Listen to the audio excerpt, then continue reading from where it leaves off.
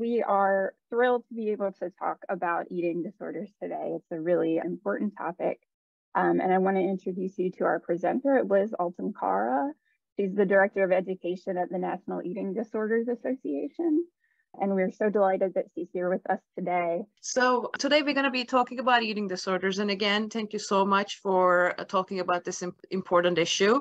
We should be talking more about eating disorders to raise awareness because unfortunately, there are a lot of misconceptions about this. Uh, so today's uh, presentation is just going to be an overview of eating disorders. Let's talk about what eating disorders are. So eating disorders are real life-threatening illnesses with potentially fatal consequences. So they are life-threatening, so they're very serious issues and they involve extreme emotions, attitudes, and behaviors surrounding weight, food, and size and they are caused by a range of biological, psychological, and sociocultural factors. We refer to eating disorders as biopsychosocial issues because they arise from the combination of these three factors. So we're going to be talking a little bit more about it throughout this presentation, but that's something to keep in mind. So the other question is, who do eating disorders affect? And the answer is everyone people of all genders, ages, races, religions, ethnicities, sexual orientations, body shapes, and weights can be affected. And usually, you know, when we talk about eating disorders, there's a stereotypical image that comes to mind. And people usually think about young females, affluent females that may get affected by eating disorders. But we know that that's not true. We know that eating disorders don't discriminate and anybody can get affected. And this is a really important point that we are trying to raise awareness around because not knowing that eating disorders don't discriminate can really have serious consequences in terms of treatment, access to treatment, access to care. So this is really important.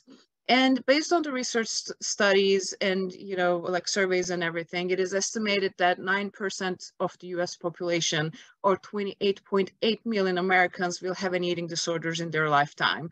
And this is diagnosed eating disorders. And there are a lot more people who may be experiencing undiagnosed eating disorders or maybe experiencing disordered eating behaviors that can at some point turn into an eating disorder. So I already mentioned that they are biopsychosocial disorders. So let's talk a little bit about what they mean. So an eating disorder is a psychosocial disorder, and there's that, that bio component in there as well. So there, you know, it's a mental illness caused or influenced by life experiences and maladjusted cognitive and behavioral processes. So what does this mean? In terms of biologically, what are some biological factors that may put a person at risk to develop an eating disorders? So there's definitely family history in there, meaning if you have someone in your family who's already struggled or diagnosed with an eating disorder, you have a higher risk to develop an eating disorder. Uh, there is history of dieting. Unfortunately, dieting has become so normalized in our society that we, we don't really think twice about it, but it really does have detrimental effects on health, and it can also put someone potentially at risk for an eating disorder. And the other one is type 1 diabetes and lastly genetic predisposition. So there are people genetically predisposed to develop an eating disorder. And in terms of psychological factors, having low self-esteem, body image dissatisfaction, feelings of inadequacy, or depression, anxiety, fear, or loneliness, those are all the psychological factors that may put someone at risk for an eating disorder. And social factors. So those are really cultural norms that overvalue appearance that drive for perceived ideal body type. And those are all the messages that we are bombarded by the media and social media in general.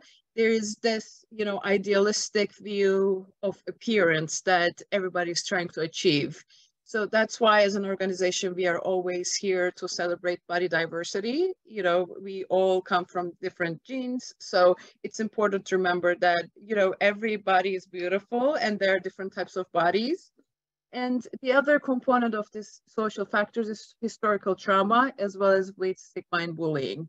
They can also contribute to develop an eating disorder. And as I said, unfortunately, there are a lot of misconceptions around eating disorders. And, uh, you know, that's why there are nine truths about eating disorders that we would like the public to know. And the first one is many people with eating disorders look healthy, yet may be extremely ill for this reason, we always say you cannot really tell if a person is struggling with an eating disorder by just looking at them. So that's why it's really important to create a safe environment for them and an open communication for them uh, so that they can disclose their issues. And usually eating disorders are very secretive. You know, usually the person who is engaging in this disordered eating behaviors, they already feel ashamed of the behaviors that they're engaging in. So it may be difficult for them to open up. And the second truth is families are not to blame and can be the patients and providers' best allies in treatments. And for years, there has been this misconception that families, the reason why a person is struggling with an eating disorder is the family, like the way they were raised or, you know, like the parents are doing something wrong that, that is leading this person to an eating disorder. We know that's not true. And we also know that support is really important and essential in recovery. And for this reason, educating the, the parents or the guardians or the family, the support system around eating disorders is really crucial in eating disorder recovery. And the third truth is an eating disorder diagnosis is a health crisis that's, that disrupts personal and family functioning.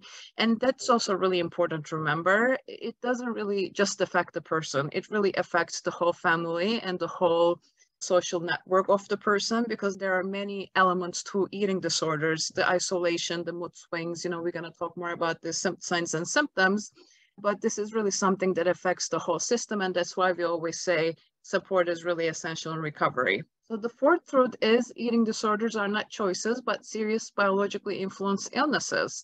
The other misconception is that people kind of engage in disordered eating behaviors because they are trying to get attention. Or some parents may think that eating disorders are just a phase and you know kids are going to grow out of it. So we know that's not true we know like nobody chooses to have a potentially fatal disorder. So that's really important to keep in mind especially to be able to remove the stigma around eating disorders. And the other one, and I have already told you this, but I'm going to repeat again, eating disorders affect people of all genders, ages, races, ethnicities, body shapes and weight, sexual orientation, and socioeconomic statuses. And the sixth truth is eating disorders carry an increased risk for both suicide and medical complications. We're going to be talking a little bit about this, but there are a lot of co-occurring illnesses with eating disorders, so they occur at the same time as an eating disorder. And, you know, self-harming behavior, suicidal ideation, and some other psychological mental illnesses can also happen co-occur with an eating disorder. The seventh truth is genes and environment play important roles in the development of eating disorder. So this is really the bio and the social socio aspect that we talked about. You know, biologically, your genes, your heritage plays a role, as well as the social environment, the diet culture that we are all immersed in. And number eight is genes alone do not predict who will develop eating disorders. And there have been some twin studies, some identical twin studies that have been done on. So really like from based on your genes, you may be predisposed to have an eating disorder, but based on your environment and the culture and the society that you you are in, you may not end up having an eating disorder or you may end up having an eating disorder.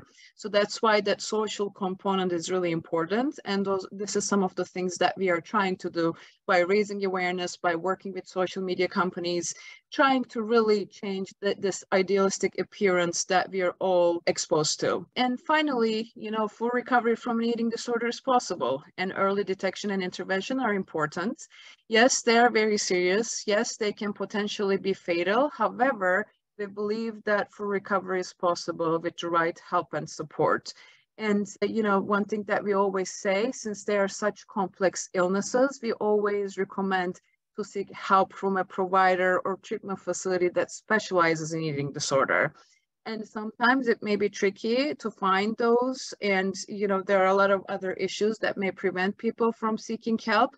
This could be financial issues or insurance issues. However, it, it is really important to get help from a professional who specializes in eating disorders. And there's also the prevention piece. Uh, they are preventable. And for this reason, there are certain evidence-based programs that can be used to prevent e eating disorders from happening in the first place. Let's talk a little bit about warning signs, symptoms, and health consequences here. Common warning signs, and one thing I want to flag is that even though we talk about, you know, common warning signs, emotional, behavioral, and physical signs, the experience of an eating disorder is very unique to the person based on their background. You know, those are kind of some general signs that we see. Emotionally and behaviorally, you may notice that weight loss, dieting, and control of food are becoming primary concerns for the person. You may see the person engaging in food rituals. You may see that they may become socially withdrawn from their family or friends. You may notice that they're frequently dieting and also they're frequently checking their bodies in front of the mirror. And you may also notice some extreme mood swings. And physically, you'll see some noticeable weight fluctuations. Again, this is not true for everyone, but you know, sometimes that what we see. And gastrointestinal complaints, dizziness upon standing, difficulty concentrating or sleeping, and issues with dental, skin, hair, and nail health.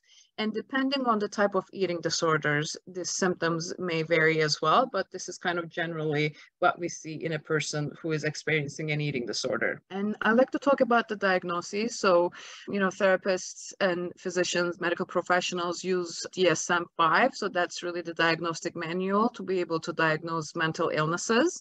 So these, these are the categories that we currently have in DSM-5.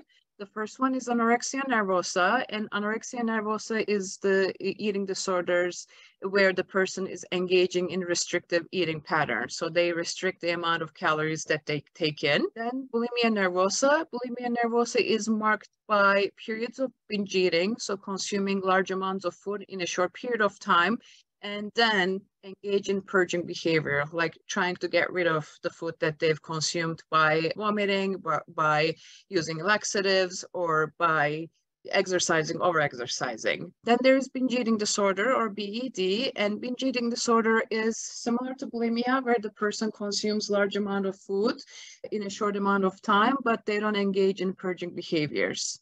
Uh, then there is another one that we are talking a lot about these days. It's called ARFID or Avoidant Restrictive Food Intake Disorder. This used to be a diagnosis only for children, but we know that people of all ages suffer from this disorder. This is really, again, restrictive eating, but the person doesn't really have that body image component. So they are not really concerned about the way they look, but they may limit their food intake based off the texture, based, you know, they can only eat maybe some food groups and avoid the others.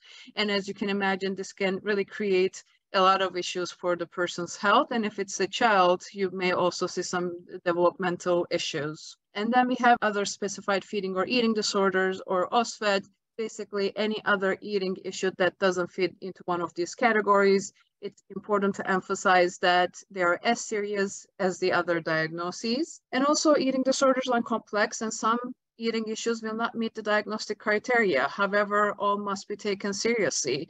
So that's why we uh, always say it's really important to learn about signs and symptoms so that you can intervene before the disordered eating patterns turn into a full-blown eating disorder. We already mentioned co-occurring disorders. So, uh, you know, these are other issues that happen at the same time as an eating disorder, and they have a high prevalence rate, and they can intensify eating disorder symptoms and impact treatments in terms of recovery, level of care, or dropout.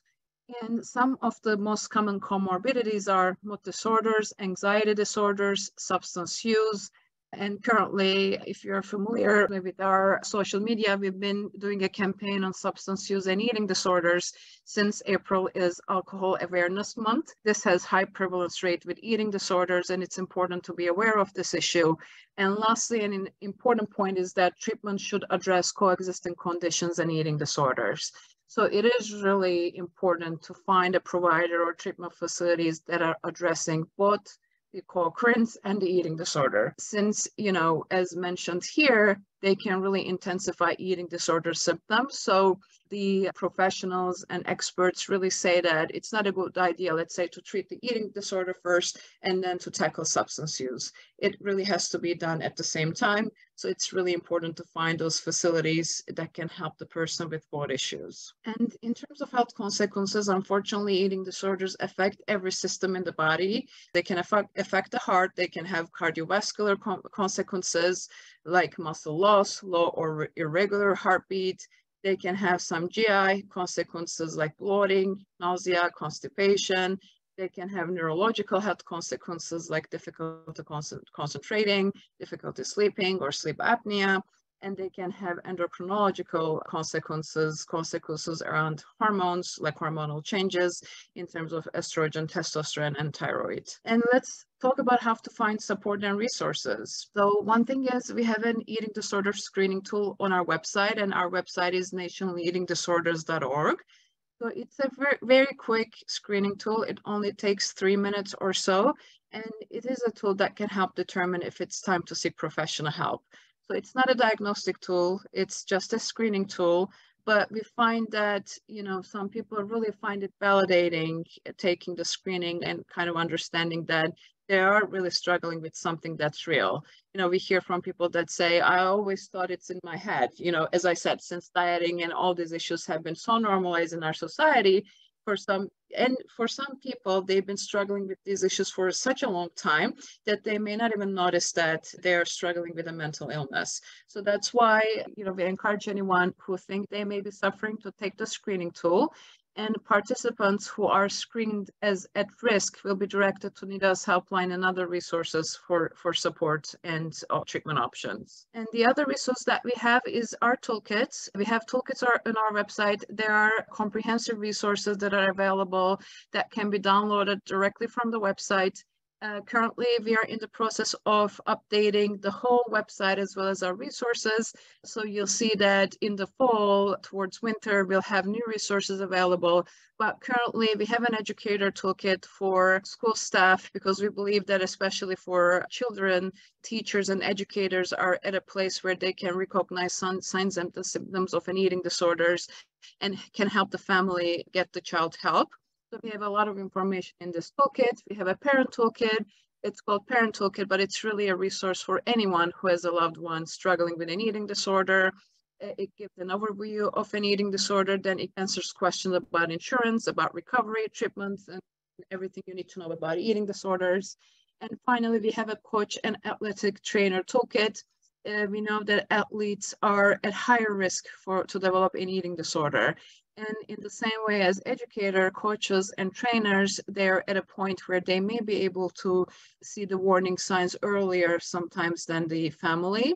So for this reason, we have some information for them in this toolkit. And you see the link to access the toolkits on the slide. And next, I want to talk a little bit about how to help a loved one who may be affected by an eating disorders. And first, let's talk about what to do. The first is really to learn as much as you can about eating disorders. As I said, since there are so many misconceptions, it's important to know what they really are. And the second one, it's important to be honest and vocal about your concerns. Some people wait just thinking that these issues are going to go away but as we said, they are not phases. So it's really important to talk about your concern. And we always suggest to use I language instead of kind of saying, oh, you've been, you, you haven't been eating or you've been going to the bathroom after every meal. Try to use I language. Say, I've noticed that you've been, you know, disappearing after meals. I'm concerned so that you really want to create this judgment-free environment when you're approaching someone who may be affected by these issues uh, be caring and firm and suggest seeking help from a physician and or therapist. So the treatment of an eating disorder is usually multidisciplinary. So you will usually see a team of professionals who are supporting the patient. And this consists of a physician, a medical doctor, a psychiatrist, a therapist, and a nutritionist. So suggest person to seek help. Like they can start anywhere. Seeing a physician, a therapist, or a nutritionist is always a good first step and also be a good role model. Practice what you preach. You know, as I said, if you're telling your friend or your loved one to stop restricting, however, if you're engaging in restriction and diets, so then that that's that's not being a good role model you know so that's something else some something important to do and when you're trying to help i want to talk about some things what not to do you know place shame blame or guilt this is really important. As I said, these people are usually ashamed of the behaviors that they're engaging in. So that's important. And also don't make any rules or promises that you cannot or will not uphold. Like, don't worry, I'm not going to tell anyone. You know, those are the things that you shouldn't promise promise because in the end you may need to tell someone especially if they're struggling with some of the comorbidities like self-harm or suicidal ideation that we talked about before. Do not give simplistic solutions like oh just eat or just stop you know stop binging things like that. We know those are complex and these are not going to be helpful or do not invalidate their experience or try to convince. You know, this is the person lived experience, and th this is what we are trying to do at NEDA as well. Uh, we know that lived experiences really are going to guide us in terms of finding the finding the support and treatment for these people. So just listen and don't invalidate or trying to convince or do not give advice about weight, exercise, or appearance. I, I feel like this is this should apply to everyone, not just like if you have a person who is affected by eating disorders. And again, this has been so normalized. I mean, even on the media every day, you know, we hear about people judging celebrities, you know, body image or body type. It's been so common and so normal, but this can really have some negative consequences on the person's self-esteem, body dissatisfaction, and ultimately lead to an eating disorder. And lastly, don't ignore or avoid the situation until it is severe or life-threatening. Say something. We should be talking about these issues you know the person is really most of the times is not going to take the first step to open up and talk about these issues. So that's why it's important to set up a private space to be able to discuss your concerns with your loved one. And when we are talking about eating disorders, there are a few things that is important to keep in mind because some of the things that we may say may be triggering to the person who is affected by the eating disorders.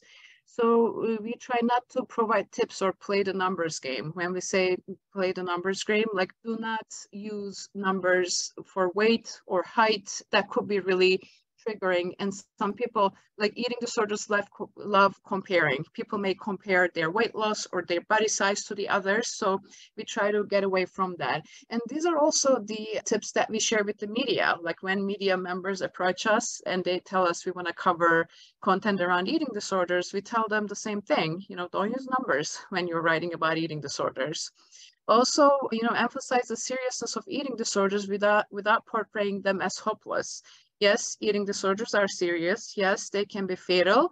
However, we know that for recovery is possible with the right help and support. The goal is really to connect the person with the right support and professional help. And watch out for the appearance ideal. And this is again referring to the image that we see in our society, in the media that everybody is trying to attain which is usually, you, you know, this unrealistic body proportions, unrealistic body weight. And don't focus on images or descriptions of the body at its unhealthiest points. And this, this is another recommendation that we have for people who are sharing their own experiences of recovery. Sometimes, you know, they tend to focus on images or descriptions of the body when they were unhealthy. So those before and after photos, so th those could be really triggering for those who are experiencing an eating disorder. And lastly, if you're interested, we encourage everybody to get involved with NEDA. I mean, first, please feel free to visit our website at nationaleatingdisorders.org. As I said, very soon we are updating our website and we're going to be having a resource center in the website for those who are affected by eating disorders. But currently we have a lot of information on eating disorder treatment, body image recovery, and we also have a lot of volunteer opportunities. We have walks all over the country. So walks are really community building events. We like to bring people together who are affected by eating disorders to celebrate recovery and to support each other. It's important for people to know that they are not alone in this journey. And we have a new initiatives called Campus Warriors. We know that eating disorders don't like transitions, meaning transitions are really a hard time for those who are experiencing disordered eating or an eating disorder. And starting college is a major transition in a young adult's life. For this reason, we are trying to create like mini NEDAs, you know, across college campuses in the US. So we are encouraging college students to get involved and raise awareness on their campuses. And we also have additional volunteer opportunities like creating content for our blog or social media. So you can go to nationaleatingdisorders.org to learn more. Number is also our administrative number. If you have any questions, you can always call this number, or you can also send an email to info at myneda.org.